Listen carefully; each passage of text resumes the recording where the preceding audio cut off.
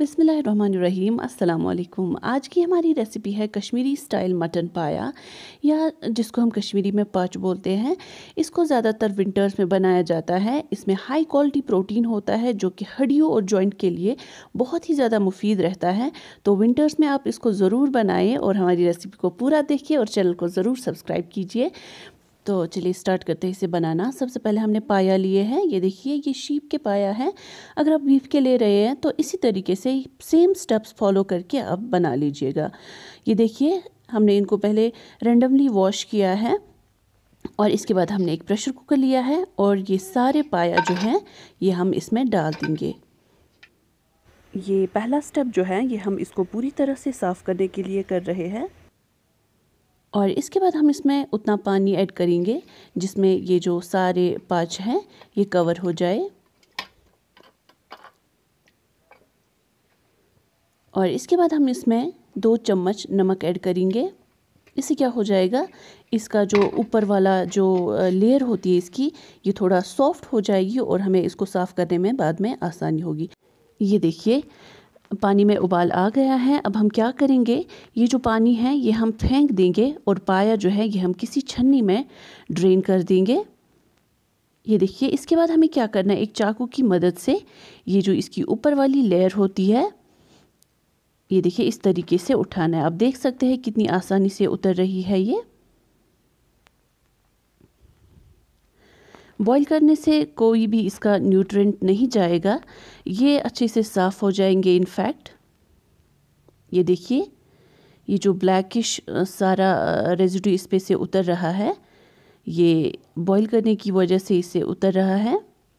और आप देख सकते हैं, ये अंदर जो है, इसके अंदर, ये देखिए, यहाँ पे भी थोड़े से बाल हो सकते हैं तो आप इसको देख के साफ़ कीजिएगा।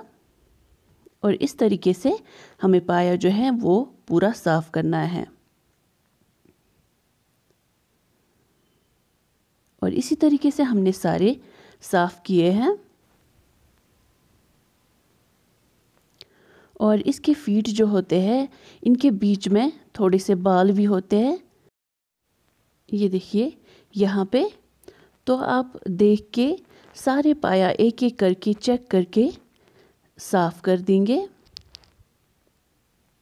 इस तरीके से हम ये जो थोड़े से बाल होते हैं यहाँ पे, इसको उठाएँगे।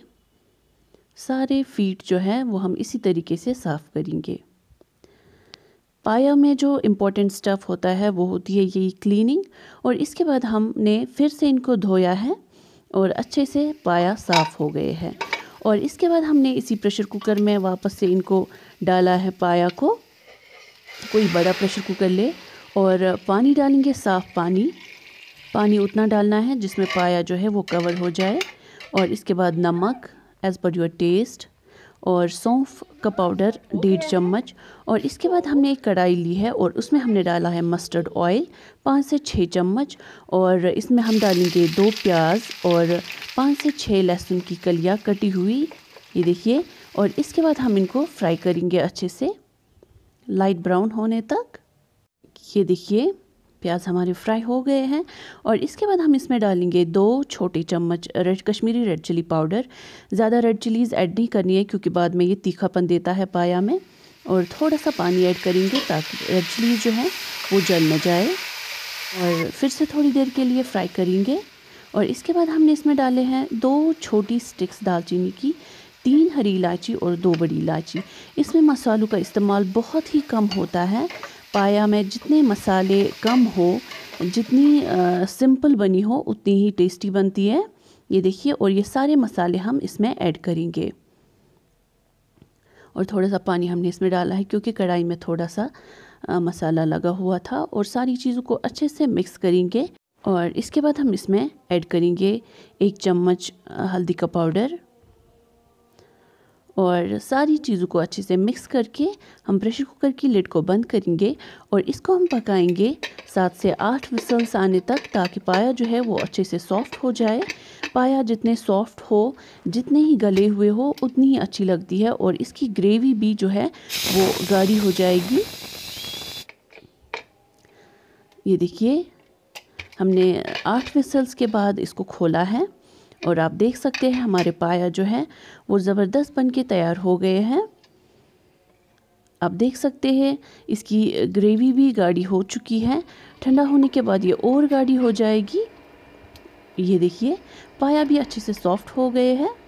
ये देखिए, इस तरीके से पाया बिल्कुल सॉफ्ट होने चाहिए, उसमें मज़ा आता है। और अगर आपको इस टाइम पे लगे इसमें ग्रेवी थोड़ी ज़्यादा है तो आप इसको ढक्कन खोल के थोड़ी देर के लिए पका लीजिएगा।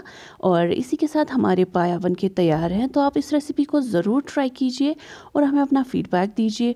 और हमारे चैनल को लाइक शेयर और सब्सक्राइब करना ना भूलें और बेलाइकन को भी ज़रूर प्रेस कीजिए ताकि आपको हर नई वीडियो की नोटिफिकेशन मिले। तो चलिए मिलते हैं अगली रेसिपी के साथ, तब तक के लिए अल्लाह हाफिज़।